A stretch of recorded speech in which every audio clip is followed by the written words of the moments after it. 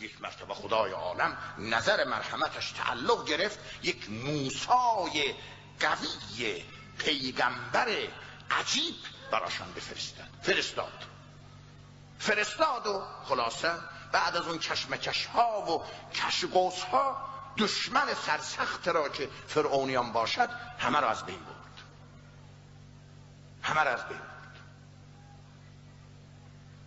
600 هزار جمعیت غرق شدند و شهر شیشتاین به دست این بنی اسرائیل افتاد.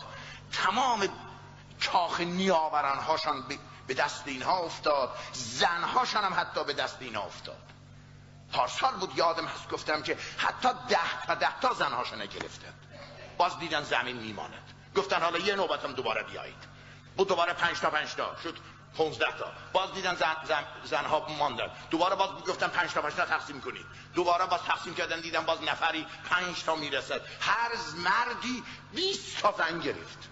زن سپهبد زن افسر زن سرگرد زن نمی‌دانم. بله ریگان زن نمی‌دانم. بله واشنگتنی زن نمی‌دانم. مسکوی همه را گرفته.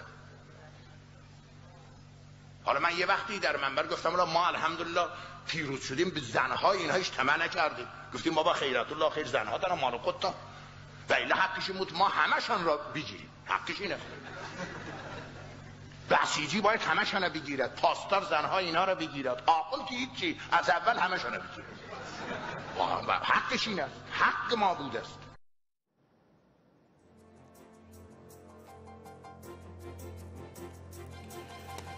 هی شب و روزگار خوش.